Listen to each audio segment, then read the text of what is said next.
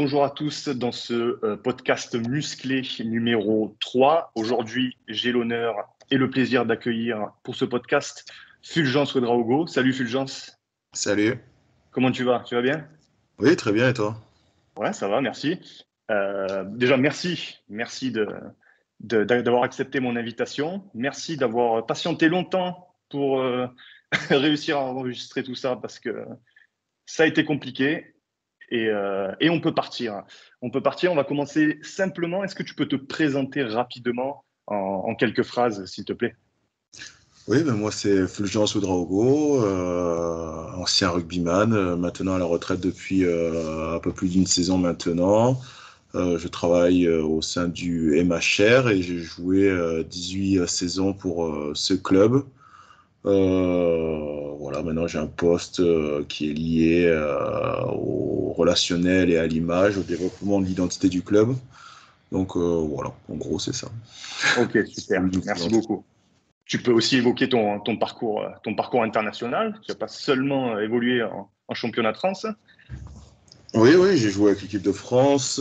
J'ai eu ma première sélection en 2007 et ma dernière en 2015. J'ai participé à deux Coupes du Monde. J'ai eu la chance de pouvoir gagner un tournoi du Destination, euh, finaliste de la Coupe du Monde en 2011. Euh, voilà, c'est ça. Et le vainqueur de, de, la Coupe du Monde de, chez les jeunes, il me semble aussi. en 2006, en 2006 avec euh, ça. moins de 21 ans. L'époque, c'était les moins de 21. Les moins de 21, génial, super. Donc, euh, moi, si je t'ai contacté, c'est surtout pour parler. Euh, donc, je suis coach sportif, c'est surtout pour parler de, de l'aspect euh, de l'aspect préparation physique dans le, dans le rugby de, haut niveau. Il n'y aura pas tellement de questions au final sur le rugby pur et dur, c'est vraiment sur la, sur la préparation physique. Donc, juste pour commencer, commencer sauf avec la question, est-ce que tu te souviens de la première fois que tu es rentré dans une salle de musculation? Est-ce que c'était euh, perso? Est-ce que c'était avec, avec le club? Est-ce que c'était. Euh, bah, c'était tard, c'était assez tardivement maintenant. C'est vrai que les jeunes, euh, maintenant, ils commencent la muscu de plus en plus tôt. Moi, je l'ai commencé vraiment la muscu quand je suis arrivé à Montpellier. J'avais 17 ans. 17 ans, donc c'est assez sur le tard je faisais des petits exercices de musculation chez moi euh, rapidement. J'avais euh, deux haltères et je faisais mes séances comme ça. Donc euh, chez moi à l'époque sur mon balcon, donc quand j'étais plus jeune, je faisais mes abdos, mon gainage et quelques pompes et ça se résumait à, à ça. après, quand je suis arrivé à Montpellier, un club professionnel, c'est là où j'ai intégré le centre de formation et que j'ai commencé la musculation au centre de formation là-bas avec de vraies machines, on va dire. D'accord. Tu as commencé à Montpellier en 2003, 2004 2003, 2004, oui. 2003, 2004. Et, et comment c'était équipé comparé à aujourd'hui Justement, tu dis que ça, a pris un petit, peu de, un petit peu plus de place maintenant. Comment c'était équipé à l'époque? Bah, Une salle de muscu euh, assez simple, hein, basique, avec euh, beaucoup euh, d'appareils à poids libre. Poids libre. Un banc développé couché, un rack à squat. voilà, pas beaucoup d'appareils guidés, on va dire.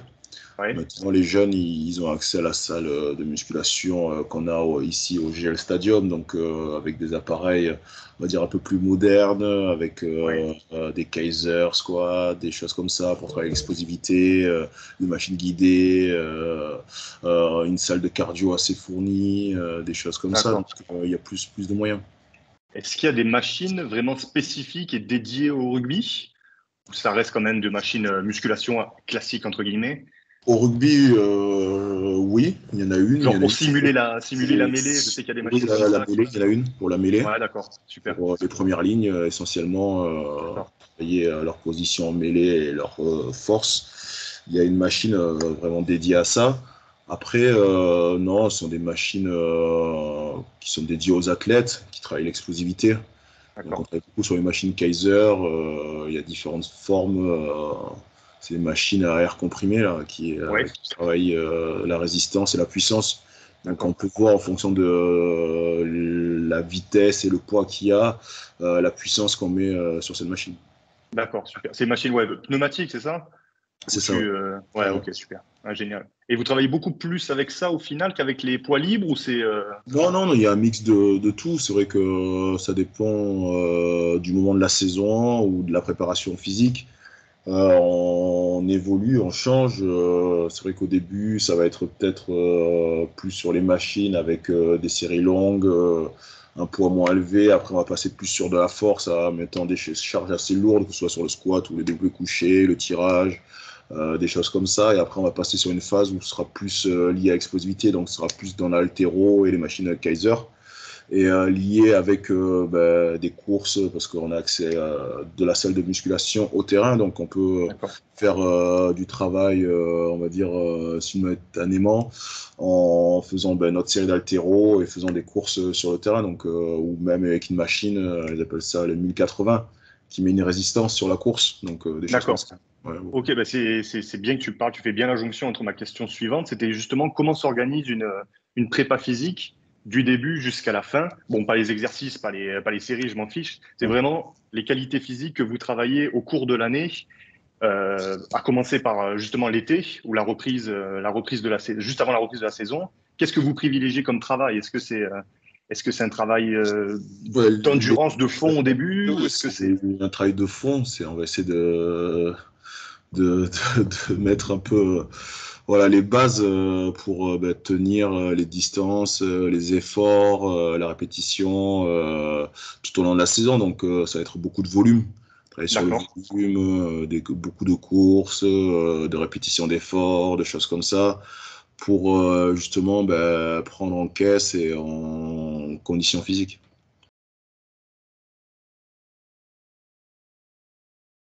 Après, derrière, ça va, ça va changer, ça va aller plus sur de la vitesse, de l'explosivité, euh, des répétitions plus courtes mais plus intenses. Et ça, ça commence à quel moment de la saison? C'est avant le premier match, justement Avant le euh, premier match. Euh, les dernières semaines avant le premier match Un mois de volume et un mois après où c'est plus explosivité, vitesse. Après, il y a des phases où ben, tu rebascules dans la préparation, où tu refais du volume euh, pendant la saison, si euh, tu as des petits trous ou euh, des petits rappels de temps en temps, mais c'est assez difficile de refaire des grosses charges durant la saison. Ouais, logique. Justement, après, une fois que, une fois que ce travail de fond est fait, c'est juste un petit peu de stimulation au cours, au fur et à mesure de la saison pour maintenir les acquis, en gros? C'est différent. Avant, oui, c'était un peu ça, parce qu'avant, on séparait beaucoup euh, le travail physique, la préparation, et euh, le rugby. Oui. Maintenant, euh, grâce bah, notamment au GPS, on mixe le tout. En fait, une séance de rugby, dans la séance de rugby, on va travailler le physique. Parce que on va, c'est, ce qui sort en ce moment, c'est la haute intensité, les choses comme ça. On peut tout mesurer. Donc, euh, en fonction de l'exercice proposé, les coachs ils savent euh, ben, l'intensité qu'on va atteindre, la distance qu'on va faire, à quelle vitesse, combien on va faire d'accélération, euh, combien il va y avoir ben, de chocs, que ce soit des passages au sol ou des plaquages, des choses comme ça. Et du coup, avec les préparateurs physiques, ils peuvent calibrer les séances. C'est-à-dire qu'on peut dire, ben, là, c'est une séance, ça va être le mardi souvent, ou c'est une séance à très haute intensité. du coup, il va y avoir des objectifs pour chaque poste les piliers, on va dire, ils, doivent faire 3000 euh, mètres, euh, les 3000 doivent faire 5000 mètres, euh, les trois quarts, ils doivent faire 5000, je sais pas combien, à telle intensité, tant de répétitions d'efforts, des courses au-dessus de 25 km heure, voilà, un, un, certain nombre de, courses à cette intensité-là. du coup, les coachs, ils, savent si ben, ils font tel ou tel exercice, ça va toucher tel ou tel aspect, euh, ça va être plus dans la vitesse ou plus, euh, on va dire, euh, dans l'aérobie ou des choses comme ça. Et du coup, ils travaillent avec les prépas pour ben, faire une seule séance de rugby, mais intégrer une préparation physique à l'intérieur. Ok, super. Et justement, grâce à ces données aussi, ils savent quand récupérer? Ils savent, oui, en fonction de ça. Après, les données, il faut savoir les lire. Donc, euh, c'est vrai que des fois, bah, tu vas courir 5000 km, mais tu n'as pas atteint des hautes intensités. Donc, ça va peut-être dire que tu es un peu fatigué ou euh, justement, tu n'arrives pas à atteindre euh, cette intensité-là parce que tu manques d'explosivité ou des choses comme ça. Du coup, il faut savoir les interpréter sur, de cette façon-là. Donc, oui, ça veut dire, ben, là, normalement, on atteint ça. tout au long de la saison, ben, on était dans les clous. Là, on n'y est pas. C'est-à-dire peut-être qu'il y a une fatigue générale ou il y a des choses comme ça où euh, voilà, il y a peut-être des risques de blessure parce qu'on a fait beaucoup de choses à très haute intensité, donc euh, il y a des petites alertes qui peuvent apparaître. Euh, voilà, c'est retranscrire toutes les données qu'on peut avoir dans du concret, quoi, au final. Ok, super. Super, c'est intéressant. Et, et, toi, justement, tu as connu les deux types de préparation ou tu étais vraiment axé sur la dernière? Ben non, moi j'ai connu les deux. Hein. Euh, la jonction, ouais. On courait beaucoup autour du terrain. Euh, après, on passait au rugby. Puis euh, à la fin de l'entraînement, si le coach n'était pas content, ben, on retournait en recourir autour du terrain. Donc voilà, là maintenant, on fait du rugby, mais il y a la préparation physique à l'intérieur. C'est vrai qu'il y a un échauffement, il y a des ateliers des fois spécifiques sur de la vitesse ou l'endurance, des choses comme ça, ou des tests à faire. Mais l'essentiel de la préparation physique, elle se fait en touchant du ballon. Donc euh, ça, ça. Préparation physique intégrée, comme on, comme on l'appelle, c'est ça? C'est ça. D'accord. Ok. Et euh, bah, justement, ma question, c'était ma question suivante, c'était quelle est la place de la musculation dans la préparation physique au rugby? Bah, Ça y répond un petit peu. Au final, c'est vraiment, euh, vraiment quelque chose qui va de, qui marche de pair maintenant, contrairement à avant où il y avait, à mon avis, pas mal de charges au début et au plus ça allait, au plus on réduisait un petit peu le, la charge d'entraînement concernant la musculation La musculation, euh, oui, ça reste toujours quand même différent du rugby. On a des phases où ben voilà, on a des entraînements, euh, le matin on commence par une séance de musculation, et après on passe sur le terrain. On peut euh, pas faire d'exercices de rugby vraiment en musculation, même si des fois on les couple avec des exercices pour les jumpers ou des exercices de trois quarts de passe pour essayer de, de se préparer là-dessus. Mais mais vraiment, il y a un travail euh, sur la musculation qui est fait de renforcement, de volume en début de saison. Après, on va alterner dans la saison plus sur de la force et l'explosivité en général. D'accord, ok, intéressant, super. Et euh, ben justement, tu viens d'y répondre. Tu anticipes à chaque fois la, la question suivante, c'est magnifique. C'était quel est l'objectif principal pour un joueur de rugby de travailler en musculation? Donc, c'est à la fois la force, à la fois l'explosivité. Et aussi, tu n'en as, pas parlé encore, mais de, prendre un petit peu de caisse justement pour, euh, pour l'intensité des coups qui a, augmenté au fur et à mesure des années dans le rugby professionnel. Oui, oui, c'est vrai que prendre du volume, euh, mais c'est plus ce qui est vraiment recherché. Avant, c'était vraiment basé sur ça, prendre du volume, prendre de la masse. Maintenant, on cherche euh, des joueurs qui sont dynamiques, explosifs. D'accord. Donc, euh, ça, ça a un peu évolué là-dessus. Bien sûr, il faut travailler la force, faire un peu de, de, de, viande, on va dire, pour tenir les chocs et l'endurance, mais ce qu'il va rechercher, c'est quelqu'un, c'est pas forcément quelqu'un de très massif et qui va passer dépasser sur le terrain. C'est quelqu'un qui va être vraiment euh, dynamique, euh, qui pourra enchaîner euh, les efforts demandés par notre sport. c'est ça qui, qui, va primer et surtout cette recherche de vitesse et d'endurance de vitesse. Ok, ok, super. Et en termes d'exercice, est-ce qu'il est y a des exercices phares pour le rugbyman que vous faites ou que vous faisiez vraiment spécifiques ou est-ce qu'il y en a comme ça qui, te, qui te viennent en tête quand tu, quand tu te préparais? Est-ce que tu sais qu'il y en a un exercice qui revenait à chaque fois et qui était indispensable, entre guillemets? Un exercice de musculation? De musculation, oui.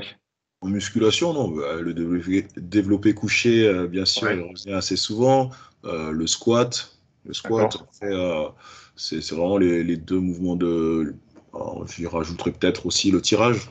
C'est Tirage planche, tirage planche, squat et développé couché. Ok. Donc au final, beaucoup de, de, poids libre, quoi. Oui, oui. D'accord. Pas forcément euh, moins du guidé, quoi. Non, non, moi. Ok. Ok. Et euh, tu as répondu un petit peu tout à l'heure déjà en plus. Euh, est-ce qu'il y a des différences de programmation en fonction des postes? J'imagine que oui. oui. Euh, est-ce que le pilier va s'entraîner de la même, toujours en musculation? Est-ce que le pilier va toujours s'entraîner de, enfin, va s'entraîner de manière différente que, que le trois quarts, que le, que le demi de mêlée que... Est-ce que vous avez tous un programme bien spécifique Oui, oui, il y, a, il y a des programmes qui sont différents en fonction du poste joué. Un pilier, euh, c'est vrai, on va lui demander d'être fort, donc euh, il va avoir des charges plus importantes. Il, va travailler aussi euh, ce qui a trait à son poste, donc tout ce qui a trait à la mêlée, donc beaucoup de cervical, tout ce qui est dos et, les jambes en, priorité. c'est ce qui être fort sur le bas du corps, c'est ce qui va lui servir sur le terrain un trois quarts, on va lui demander d'être beaucoup plus dynamique. Donc, euh, ça va être un travail euh, totalement différent, être beaucoup plus en explosivité, en vitesse qu'un euh, pilier. D'accord. Et l'importance du gainage chez, chez, ben, chez tous les postes d'ailleurs, hein, que ce soit à du. Tous les tous les postes. Je pense que pour tout sportif, enfin, la première des choses, c'est le gainage et, euh, on va dire euh, tout ce qui appartient au corps. C'est vrai qu'on travaille beaucoup euh, comme ça sur gainage avec des exercices couplés pour travailler ben, le corps dans son ensemble. C'est vrai que cette partie gainage, c'est pour ça qu'on travaille beaucoup en poids libre aussi. Que sur un squat, euh, le gainage il, travaille parce que euh, il y a ben, ces déséquilibres, parce que la barre il faut bien l'équilibrer, il faut travailler là-dessus. Donc euh, ça, ça y est, et c'est vrai que pour nous c'est essentiel de, de travailler cet aspect-là du corps. Et euh, vous aviez des exercices spécifiques justement de gainage ou vous le travaillez justement grâce aux exercices de base? de gainage, euh, il y a du gainage cervical, donc euh, il y a des positions de gainage sur le cou, on appuie sur la tête là on appuie sur la tête, on appuie sur une jambe pour travailler plus ischio, des choses comme ça, mais on va travailler des mouvements explosifs ou retranscrire ce mouvement en étant appuyé, ben, on va dire, sur le cou, une jambe sur un banc et lançant un ballon donc euh, des équilibres et retranscrire euh, tout ça. Donc euh, oui, il y a des, exercices qui, qui, sont plus ou moins adaptés. Hein. Ok, et ça pour tous les postes, au même, à la même charge pour tout le monde, ça, relativement? Non, pas la même charge, peut-être pas la même charge. On va dire que les avants, ils vont travailler sur des gainages plus profonds au niveau des cervicales avec des charges plus importantes que les trois quarts. Ok, ok, logique. Et euh, bah, tu as évoqué justement ta carrière internationale. Et ça, c'est une question que je me suis souvent posée et pour les rugbymen et pour les footballeurs et pour, euh, pour tous les sports euh, collectifs. Comment, au niveau de la préparation physique, comment les, les staffs des clubs et le staff de l'équipe de France se mettaient en accord pour organiser la, la préparation physique Est-ce que vous aviez, quand vous alliez en réunion avec les Bleus, est-ce que vous alliez en salle de muscu? Est-ce que vous travailliez encore ce, cet aspect-là? Nous, euh, on a une génération où c'était difficile de travailler beaucoup euh, l'aspect euh, physique et musculation en équipe de France. bien sûr que dans une semaine d'équipe de France, ben, on avait des séances de musculation, mais travailler physiquement, c'était difficile parce que souvent on arrivait, on avait une semaine pour se préparer avant le premier match. Donc, euh, ce qui était euh, le plus important, c'était de travailler notre euh, jeu. Et voilà. Donc là, c'était un peu difficile. On travaillait plus en période ben, de préparation de Coupe du Monde. Là, on travaillait vraiment physiquement, un, peu tout comme en club. Et on avait deux mois vraiment de, de grosses préparations physiques. Donc ça, là, il y avait du travail qui était fait. quand on arrivait et qu'on devait partir en Nouvelle-Zélande, voilà, il y avait déjà le voyage, des choses comme ça. Donc de la fatigue, de la, saison aussi.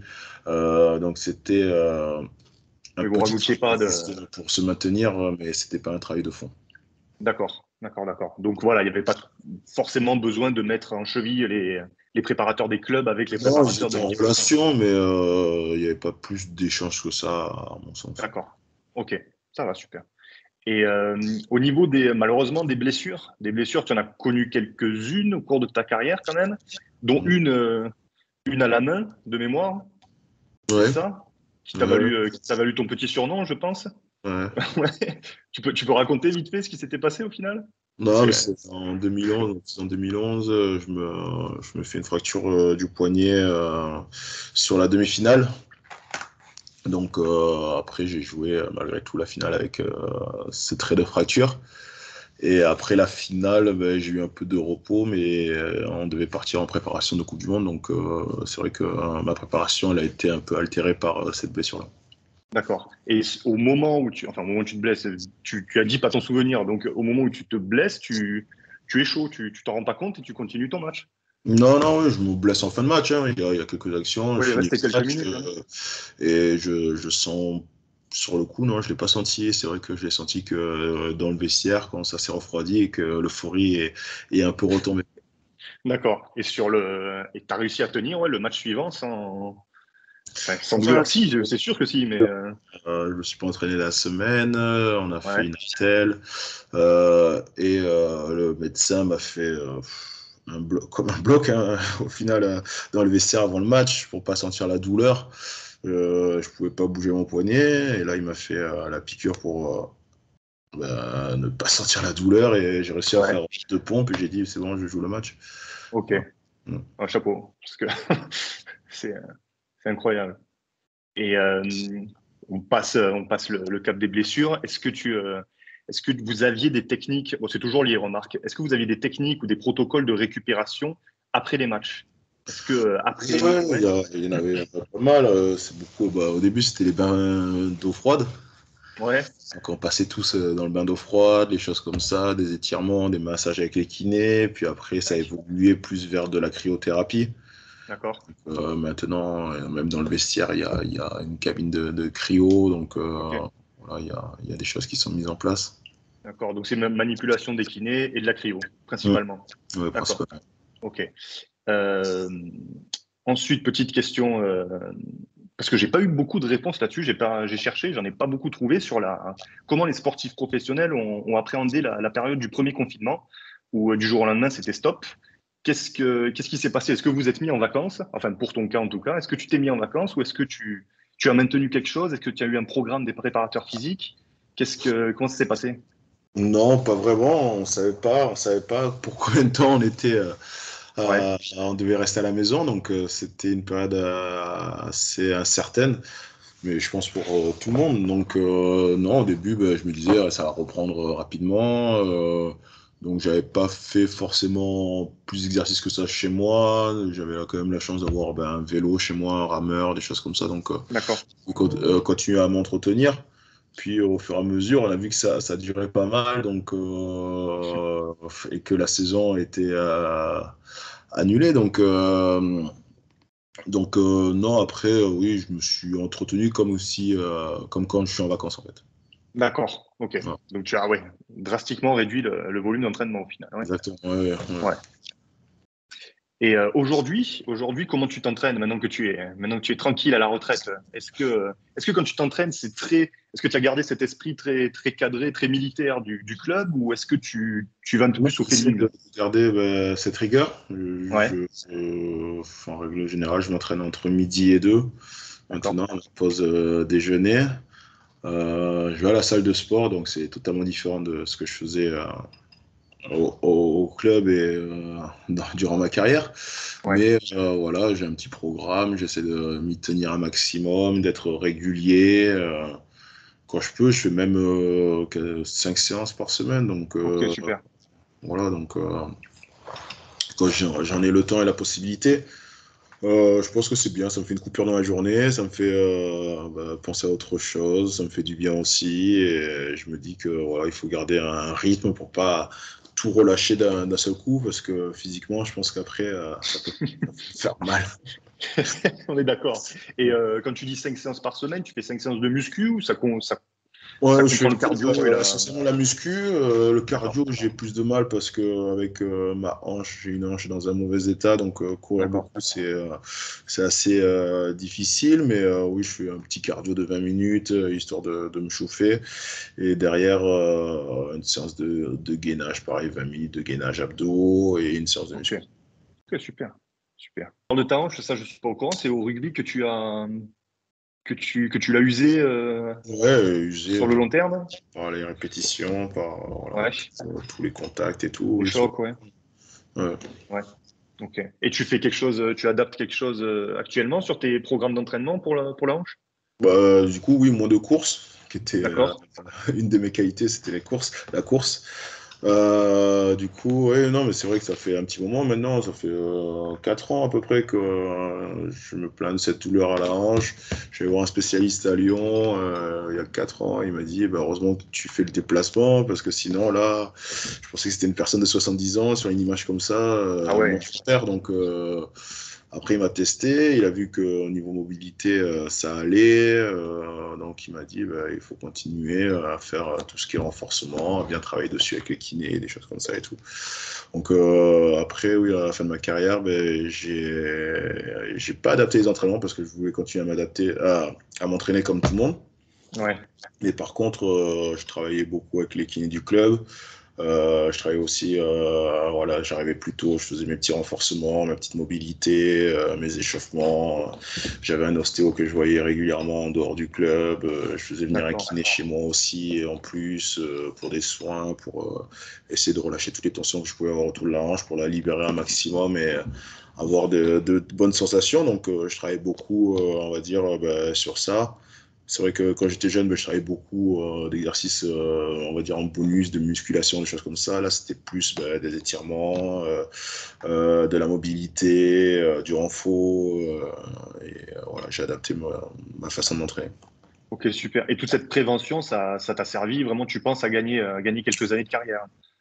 Ah oui, oui, parce qu'il y a, je pense qu'il y a 4 ans, il disait que euh, j'étais cuit, quoi, mais euh, ah ouais, d'accord. ans de plus, donc. Euh, et, puis, est-ce que tu es en détail à ta hanche Est-ce que c'est osseux Est-ce que c'est tendineux Est-ce que c'est. Non, c'est l'arthrose. Hein. arthrose, ok. voilà, c'est le cartilage qui est abîmé.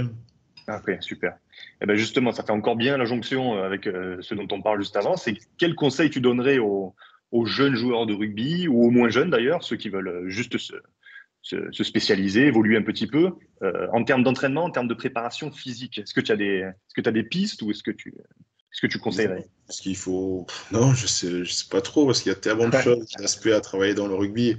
Euh, ça dépend des qualités de chacun.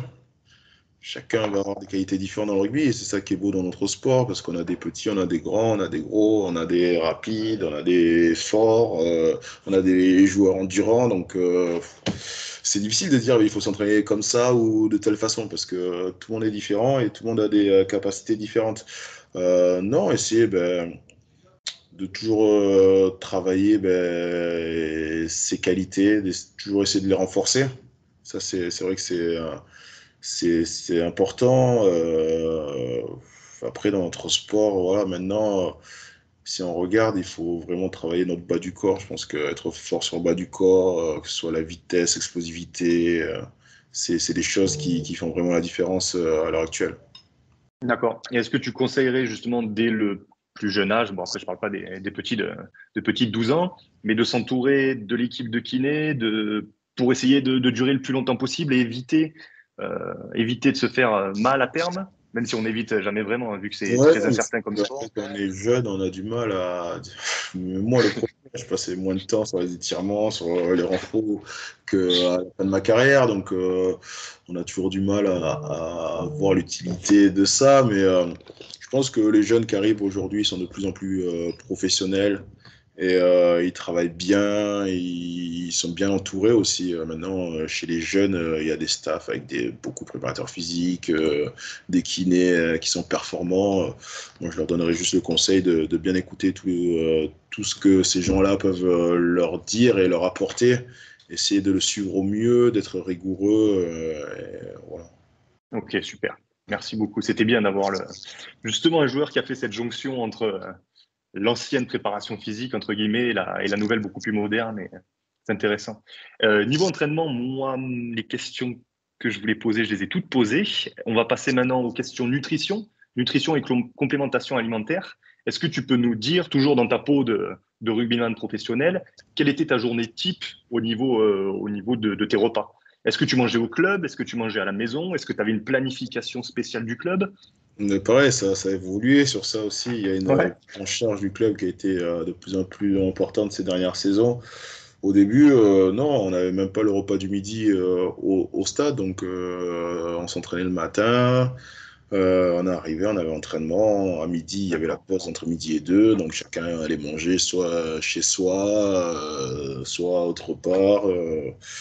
Et après, on avait un très de, de l'après-midi. Après, euh, quand, déjà, quand on arrivait euh, au stade, bah, il y a eu la brasserie, des choses comme ça. Donc, euh, au début, ils ont mis en place le repas du midi qui était pris par le club. Après, le petit déjeuner. Donc, à la fin, c'est ça. Maintenant, les joueurs arrivent le matin, ils ont le petit déjeuner. Ah, super. Ils s'entraînent, ils ont le repas du midi au stade à, la fin de l'entraînement, il y a des choses pour faire une collation, euh, se, nourrir. Donc euh, voilà, il y, a, il y, a, quand même, euh, on va dire, les 3, 3 sur 4 des repas de la journée qui sont pris en charge par le club, qui sont étudiés par des diététiciens. Donc voilà, qui, tout est fait pour la performance justement. Donc à ce secteur-là, l'alimentation pour euh, ben, être encore plus performant. Et euh, on en parlait tout à l'heure justement des exercices adaptés, de la planification adaptée. Est-ce que là, pour le coup, la diète est adaptée à chaque joueur Est-ce qu'on calcule en fonction de, de ses besoins, de sa taille, de son poids, de son poste, ou c'est très, euh, c'est très, libre C'est pas strict, strict, mais euh, c'est vrai que ceux qui seront plus en tendance d'être en surpoids, ils ont des repas qui sont plus contrôlés et plus mesurés, on va dire, que, que les autres. Ok, ok, super. Mais c'est tout, voilà, il n'y a pas un calcul de calories très drastique, très. Euh, non, d'accord. Et euh, est-ce que tu te souviens de la. Attends, juste une question avant. Est-ce que c'était quand cette bascule de, professionnalisation de la nutrition, justement? Là, les dernières années, je pense, euh, les dernières années. Année 2010, ça a commencé? Oui, oui. Ok, ok, super. Et ta diète le jour de match, justement, est-ce que ça, ça différait beaucoup ou est-ce qu'encore une fois, on vous laissait assez libre et, et ça a évolué au fur et à mesure Après le jour de match, c'est vrai que le jour de match, tu es euh, déjà avec l'équipe, donc euh, tu as le repas qui est, qui est, prêt et fait par euh, le diète du, du, club ou la diète du club maintenant, nous c'est. donc il est pris, il est déjà pris en charge, donc tu as, un repas qui est fait pour justement arriver dans les meilleures conditions pour, pour le match. Et justement, tu te souviens un petit peu, qu'est-ce que vous aviez au menu là? Saumon, poulet. Des ouais. Ok. ok. je suis entre saumon ou poulet, des pâtes. Euh, après, des pâtes, okay. en entrée. Euh, voilà, et après, euh, riz au lait, compote, des trucs comme ça. D'accord, grosse dose de glucides pour, pour préparer le match. Ok. Et ça, je sais que oui. En tout cas, je l'ai vu dans d'autres clubs. Est-ce que vous êtes contrôlé au niveau du poids, au niveau de peut-être pas l'indice de masse grasse, faut pas déconner, mais euh, ah si, carrément, ouais. Si si, euh, régulièrement, régulièrement. Tu passes sur la balance, euh, la pince pour mesurer. Ah ouais, la pince à pied et tout. On le fait avec la pince. Après, il y a d'autres systèmes qui sont mis en place, comme le Dexa. Ah, vous avez oh, fait des Dexa régulièrement? Pas régulièrement, mais c'est de temps en temps, il y a des Dexa qui sont mis en Incroyable. Et vous l'avez au sein du club ou vous allez. Euh, au sein du club, on se, on se déplace. Ok, ah, super. Et euh, qu'est-ce qui se passe quand il y a quelqu'un qui, est, qui, est, hors limite là? Ben, Il va au Fat Club. c'est le groupe qui, qui commence en général les entraînements plus tôt que les autres et qui finit plus tard que les autres. Ok. c'est quoi C'est juste du, enfin, du cardio euh, Du cardio, du cardio. À la basse intensité, ok. C'est quand même des joueurs euh, assez massifs. Ils ne font pas courir en plus sur le terrain parce que ça pourrait euh, abîmer les articulations. Donc c'est plus des exercices en décharge comme du watt bike, elliptique, du rameur, des trucs comme ça, en plus des séances. Le Fat Club, ok. Mm. Je connaissais pas ça, tu vois. Et euh, maintenant, on passe la partie nutrition, quoique ça concerne toujours ça, mais euh, on va ouvrir la partie euh, compléments alimentaires. Quand est-ce que tu as découvert justement les, compléments alimentaires? Est-ce que c'était grâce au club? Est-ce que c'était ton côté, tu cherchais à, améliorer quelque chose, ta performance ou ton sommeil, ta récupération, je ne sais pas? Non, c'est oui, c'est au club, c'est au club que j'ai commencé au club, ouais. alimentaire. Après, c'est vrai que moi, souvent, on me disait, ah, il faut que tu prennes en, masse, en volume. Euh, j'essaie hein, de, de, prendre des prods, de me euh, tenir un, un, régime assez euh, régulier. Mais en fait, dès que je joue, j'enchaîne les matchs, mon poids, il monte pas. il monte très vite. Non, là-dessus, oui, oui. Bah, tu es suivi par le préparateur physique, un diététicien. Donc, à la demande à la demande. Si tu as envie de prendre des compléments, il va t'indiquer euh, lesquels prendre en fonction de tes attentes. D'accord. Il n'y a, a, rien de général de... Rien de général, il n'y a rien d'obligeant. Et même au niveau de la, de la, protéine en poudre, justement, c'est pas. Euh, oui, il y a à disposition, mais euh, si tu veux pas. D'accord, c'est pas. Ok, ok, super. Et toi, pour ton, ton cas personnel, les, quels compléments alimentaires tu consommais pendant ta carrière? Tu te souviens comme ça euh, de, la protéine, protéine en poudre. Euh, après, euh, qu'est-ce que je prenais Je prenais, non, je me rappelle plus non. pour les articulations, c'est de collagène? Oui, collagène, voilà. Ouais, ok. Et tu continues ça justement pour ta hanche? Bah là, moi, en ce moment, je devrais peut-être reprendre, mais. ouais, je te conseille, parce que... surtout pour l'arthrose, ouais. Ouais, ouais. Non, voilà, des, trucs assez basiques, quoi, protéines et collagène. Et en termes de, en termes de micronutrition, c'est-à-dire les vitamines, les minéraux, ça c'était pas dans, dans, vos boissons de l'effort justement, vous aviez pas des Non, il y a des d'effort, il y a des euh, comment ça, électrolytes, des trucs comme ça, voilà, ouais. des boissons de récupération et tout. Euh, Donc ça c'est pour tout le monde, ça pour le coup? C'est pour tout le monde. Ouais, ok, super. Et, euh, et, et, c'est tout.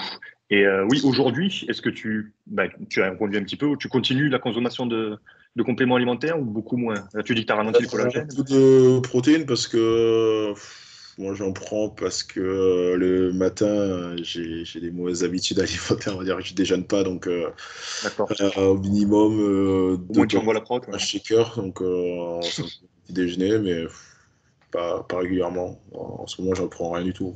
D'accord, donc ça reste de la protéine en poudre globalement. Et la même question que pour la partie entraînement, cette fois-ci pour la partie nutrition. Est-ce qu'il y a des conseils que tu donnerais à la jeune génération, ou toujours pas, et pas à la jeune génération, mais juste le rugbyman qui veut un peu améliorer ses performances, d'un point de vue nutrition et euh, complémentation alimentaire? Bah, De pas, enfin, de se faire conseiller, c'est tout. Si il se fait conseiller, il y aura des gens euh, à même de lui dire euh, il faut prendre tel produit ou tel produit. Euh, mais voilà, des gens du club, des gens, on va dire, sûrs. Et s'il n'a pas envie, franchement, c'est pas pour ça qu'il sera moins bon. Quoi. Voilà, D'accord. Et d'un point de vue nutrition, maintenant, juste nutrition solide, est-ce que vous faites ou est-ce que vous faisiez attention au, à l'équilibre acido-basique, c'est-à-dire gérer, gérer l'inflammation en mangeant pas mal de légumes pour compenser un petit peu, pour pas créer une inflammation et pour pas se faire mal justement sur les entraînements qui suivaient. Parce que tu me disais tout à l'heure, jour de match, c'était euh, c'était c'était féculents et protéines et pas beaucoup de pas beaucoup de légumes, pas beaucoup de, de basifiants. Si, il y a toujours, il y a toujours quand même. crudité, euh, tu as toujours un buffet de crudité à, volonté, hein, donc euh, D'accord. tu l'as à tous les à tous les repas. non, moi sur ma fin de carrière, oui, c'est vrai que je faisais un peu plus attention à ça parce qu'en plus j'aimais bien la viande rouge, j'en mangeais beaucoup. Et c'est vrai que pour mon inflammation à la hanche, euh, j'avais bien baissé et je faisais même, euh, ce qui était rare pour moi, euh, des jours où je mangeais pas de viande du tout. ah ouais, d'accord. Ni, ni, viande rouge, ni poulet? Non. Et tu compensais avec des, légumineuses, des, des, lentilles, des, trucs comme ça? oui. D'accord. Ok. Et est-ce que tu avais une différence particulière ou tu saurais pas dire? Difficile à dire. Franchement. Ok. Euh, oui, parce que je fais attention aussi, donc euh, peut-être c'est psychologique aussi. Tu dis, c'est mieux pour ton corps. Mais je vais pas dire, j'ai fait ça. À côté, je faisais des soins en plus, je faisais euh, entraînement en plus pour ça. Donc, il y avait beaucoup de choses qui étaient faites pour justement améliorer ma condition physique. Donc, tout ça ensemble, oui, ça marchait. Après, c'est plus ça pas dire d'où ouais, chose, je ne saurais pas dire. Je vois, ok au final, ça peut être ça le conseil, c'est de, jouer sur tous les tableaux pour éviter, euh, pour éviter le plus possible de se blesser et d'arrêter prématurément la carrière. Bien sûr, bien sûr, il y a beaucoup de choses qui sont mises en place maintenant pour ça, pour essayer de prévenir les blessures, pour essayer de revenir plus rapidement, pour récupérer, euh, on va dire, euh, plus efficacement. Donc, il y, a beaucoup de choses qui sont en place là-dessus. Donc, il faut essayer de se servir un peu de tout ça. Et justement, je, tout à l'heure, j'ai orienté la question sur, le, sur la récupération après les matchs, mais en termes de récupération euh, générale, entre guillemets, est-ce que est-ce que c'était le même principe? Est-ce qu'il y avait de la cryothérapie euh, Les matchs où vous aviez pris, euh, vous pris plein la gueule Ou est-ce qu'il y avait Après les entraînements, les gros entraînements, il y a la cryo qui est à disposition. Après tous les entraînements, les kinés sont à disposition aussi pour une séance d'étirement, de massage. Euh, après, tu peux aller à la salle avec les préparateurs physiques euh, bah, pour faire un peu de cardio pour euh, récupérer ou, ou des étirements ou de la mobilité. même avant l'entraînement, il y a des, des, rouleaux, des balles et tout pour faire. Tout, tout, tout, est fait avant, après pour, pour récupérer. Donc, c'est vrai que l'entraînement, c'est une partie, mais derrière, bah, il y a toute une phase de récupération derrière tous les entraînements. Ok. Et euh, là, tu parles des manipulations euh, et de kiné et les automanipulations avec les rouleaux, tout ça, les étirements.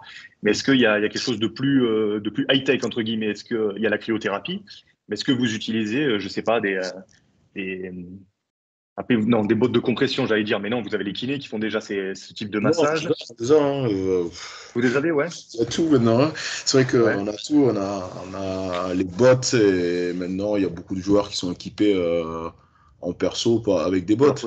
D'accord. On a presso euh, à disposition chez Kiné, on a trois bottes, mais euh, euh, moi je sais que j'avais, je les avais chez moi, donc des fois le soir, sans dormir avec les la veille des matchs, tout le monde, il y en a beaucoup qui viennent avec leurs bottes, leurs rouleaux.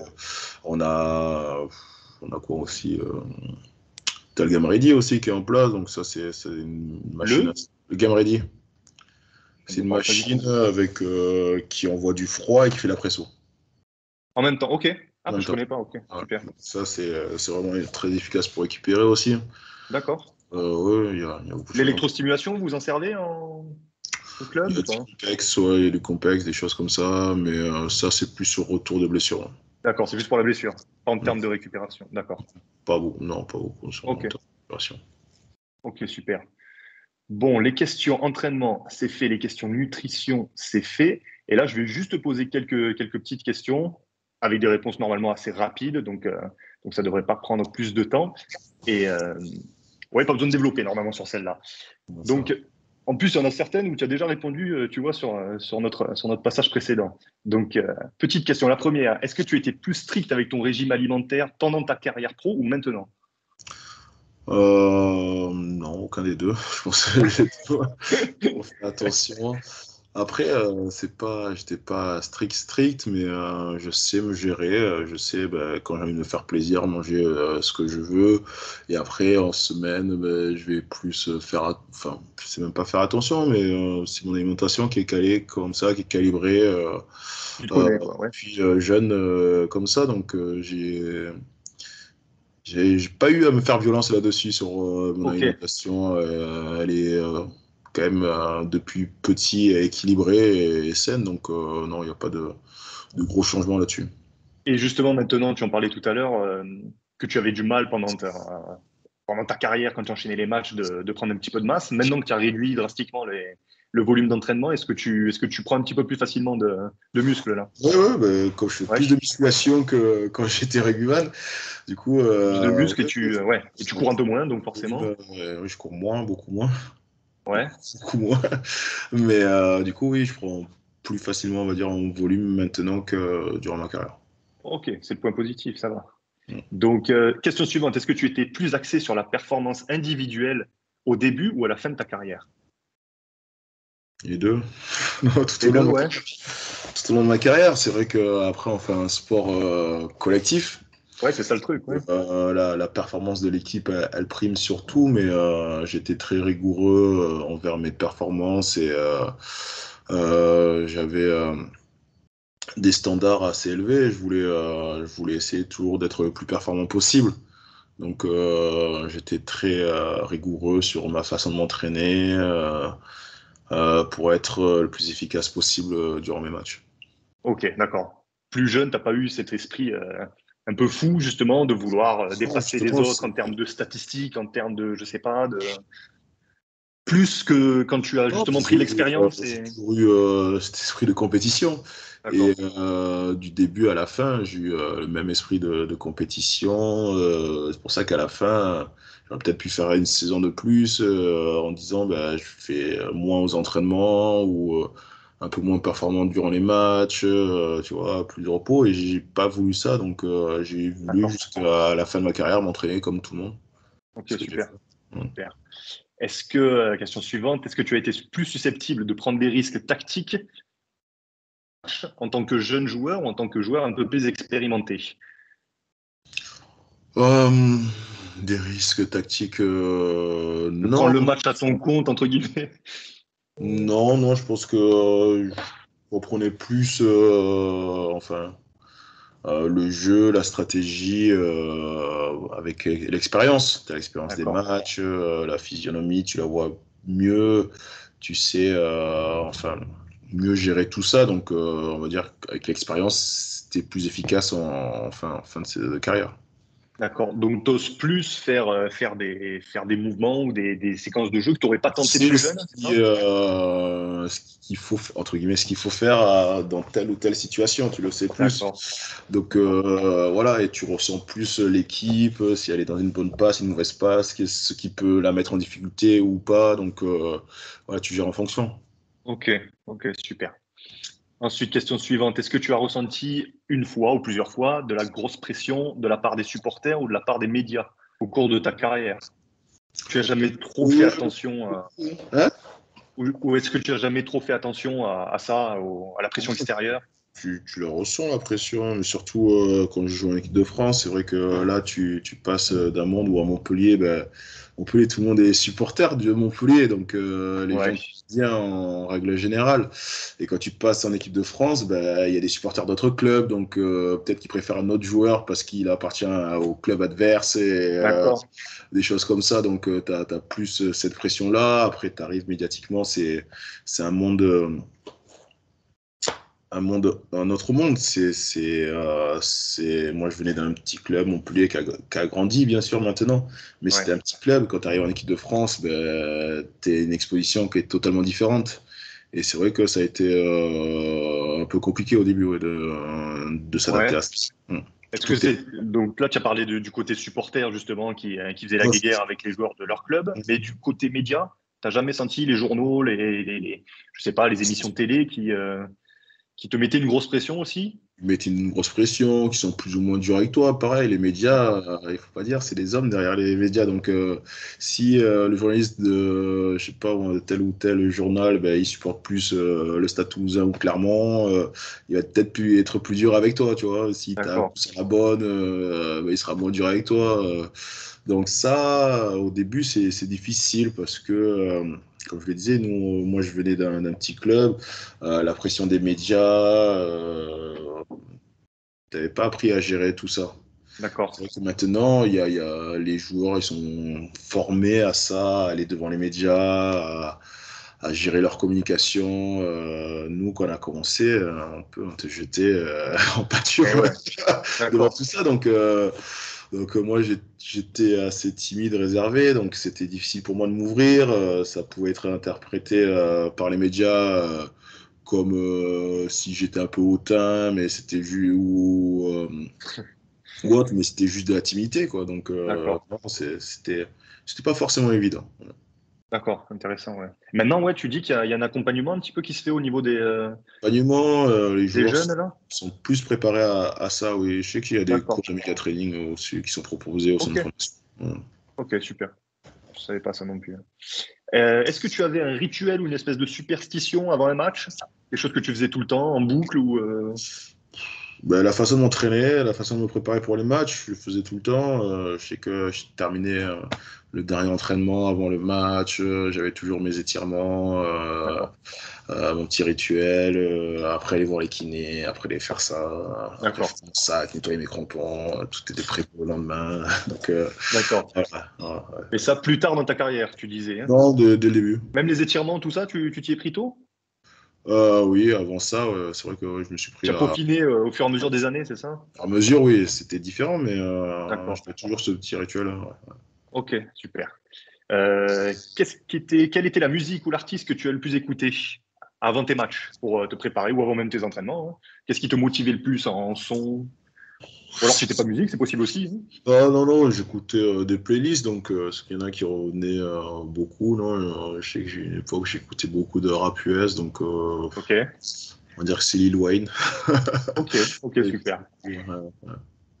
Euh, ensuite, quelle est la pire blague ou la pire crasse que tu as fait à un coéquipier? Euh. Si tu peux le dire. non, la pire. Ah, la pire Je sais pas. Il y en a trop. Ça, non, je sais pas, on a fait des dans le vestiaire, ça rigolait bien. Donc, euh... ouais. Non, une fois, bah, j'avais caché le scooter d'un un peu plus âgé quand j'étais jeune dans, dans, sous les douches. Donc, quand il allait se doucher, il a trouvé son scooter qui était là. Donc, euh, voilà. Il était ravi? Comme ça, il était ravi. Ouais. C'était quel joueur? C'était Sébastien Petit. Ok, super. Euh, ensuite, ah, ça, ça m'intéresse. Quel est l'adversaire le plus coriace que tu as affronté? Il y en a eu, hein. Il y en a eu des adversaires durs. mais... un top 3 ou ou quelques-uns Non, il y en a. Il y a Chris Mazoé, c'est vrai que bah, j'ai eu la chance de jouer pas mal de fois contre lui, que ce soit à Castres, Racing ou à Toulon. ça a toujours été un joueur dur, dur à jouer, qui était physique qui, qui mettait beaucoup en avant son équipe, euh, qui était difficile à, manœuvrer. Donc, euh, c'est vrai que c'est un des joueurs que. C'était un joueur qui. Voilà, jouer contre lui, c'était difficile. C'est celui qui te marque le plus, ouais. Ouais, ouais, c'est un championnat. Intéressant. Euh, la, meilleure, la meilleure ambiance que tu aies vécue dans les tribunes là, pendant un match de rugby Est-ce que c'était Montpellier? Est-ce que c'était équipe de France? Ou alors tu donnes un avec Montpellier, avec l'équipe de France? Bah, Avec Montpellier, oui. Avec Montpellier, j'ai quand même euh, notre première demi-finale. Ouais. On a eu la chance de la jouer à Marseille, donc euh, pas très loin de chez nous. Et euh, c'était la, voilà, la première fois que le club jouait des, des phases finales, donc il y a eu un engouement extraordinaire autour de cela. nous, quelques années auparavant, on jouait dans le petit stade à Sabaté, donc on jouait devant 3000 personnes, 4000 personnes vraiment au max quand c'était plein à craquer. Et là, c'est vrai, on est arrivé. Tu passes au vélodrome, oui. Au vélodrome. Et on jouait le Racing. Et le Racing, ils étaient descendus à, je sais pas si c'était entre 2000 et 4000 supporters, mais il y a encore un truc à, casser. Ouais. tout le reste du stade, euh, il y avait des drapeaux de Montpellier de partout. Donc, euh, c'était assez, assez phénoménal. En plus, le scénario du match, euh, voilà, c'était assez, assez, extraordinaire ce match-là. Ok, super. Et avec les Bleus, tu as un souvenir particulier ou avec le bleu, j'ai un souvenir euh, à Cardiff. Ok. Cardiff, euh, ils avaient fermé le stade, donc euh, il y avait 40 000 personnes, mais tout fermé. on gagnait la première mi-temps et début de seconde mi-temps, là-bas, ils, nous contre et ils marquent un essai en compte par Shane Williams à l'époque. Ok. Et jusqu'à là, le public il s'était tenu. Et là, dès qu'il faisait euh, un mètre, on n'entendait plus rien. On pouvait... du boucan. Ah ouais. Parce que le stade fermé, ça, c'est trop de bruit. Pour s'annoncer, on on ah ouais, pas à se parler. Mais non, on n'entendait rien sur le terrain. Ah incroyable. incroyable. C'était euh, c'était une grosse ambiance. Même si c'était contre nous, tu, quand même, tu apprécies ce moment-là. Ok, génial. Mm. Euh, maintenant, ton meilleur souvenir en tant que rugbyman professionnel tu en as déjà parlé avec Montpellier juste avant. Est-ce que c'était pas. La finale. Après, euh, même euh, le, le, titre, le titre, j'ai pas eu la ah, chance de, de, jouer euh, cette finale, mais. tu as grandement participé quand même à l'ascension. c'est quelque chose de, de fantastique pour, pour nous. voilà, c'était un rêve de gamin. c'était mon but en restant ici, se dire. Ben, faire partie de la première équipe qui s'ouvrira et qui ramènera le bouclier de Brennus à Montpellier. Donc, ça reste un souvenir magnifique pour moi. Oui, parce qu'on précise, je ne sais, plus si tu l'as dit dans ta présentation, mais que tu es resté 18 saisons à Montpellier. Montpellier. Tu es vraiment, euh, vraiment l'âme du club euh, à Montpellier. Euh, maintenant, ton pronostic pour la Coupe du Monde. Les deux ah. finalistes. Je te demande pas qui gagne, je te demande les deux qui vont en finale. Les deux finalistes, c'est dur. C'est dur, c'est dur. Je dirais la France, parce que tout évidemment et on y croit à fond. Donc euh, oui, d'un côté la France. Après, euh... France-Nouvelle-Zélande en finale serait pas mal. Ok, ça ressemble à quelque chose. Euh. Ouais, c'est ça. Déjà vu, déjà vu avec un autre scénario, ce serait Ah bah oui, il faut. Euh, oui, c'est vrai que ça ressemblerait à la Coupe du Monde 2011, les deux équipes dans la même poule et qui se retrouvent en finale, ce serait, ce serait pas mal à mon sens. C'est hein. pas possible. Cette revanche-là. Mm. Et maintenant, en dehors du rugby, euh, quels étaient, ben, pendant ta carrière, tes centres d'intérêt Et maintenant que tu es hors rugby, entre guillemets, hors terrain, euh, quels sont tes centres d'intérêt euh, autres, que ce soit activité sportive, activité, je sais pas, intellectuelle, du, je sais pas. Oh, moi, je, sais que tu fais pas mal de pêche. Hein? Je sais que tu fais pas mal de pêche. Ouais, voilà. J'adore la pêche depuis petit. je suis mordu de pêche. Donc euh, j'en faisais aussi quand je jouais, hein, et là j'ai plus l'occasion d'en faire. Un peu plus, pas beaucoup plus, mais un peu plus. Donc euh, c'est vrai que j'essaie d'y aller un maximum. Euh, j'ai toujours aimé tout ce qui est nature. Moi j'ai grandi dans un coin assez ouais, perdu dans la, la, garrigue, dans la nature, autour des vignes, des choses comme ça. Donc tout ce qui est jardin déjà, j'aime bien m'occuper de mon jardin, de mes plantes, de mon potager voilà, des animaux, c'est quelque chose qui, qui me plaît. À la maison, voilà, j'ai deux chiens, des poules, un lapin, donc ça, ça m'occupe. La pêche et le jardinage, c'est des activités, activités très, très zen pour compenser le, pour compenser le, la brutalité du rugby, non? Ouais, Est-ce que c'est lié ou pas du tout? Non, mais voilà, j'ai mon côté où je suis dans ma bulle, au calme. Ouais. Euh, ça me permet ben, voilà, de,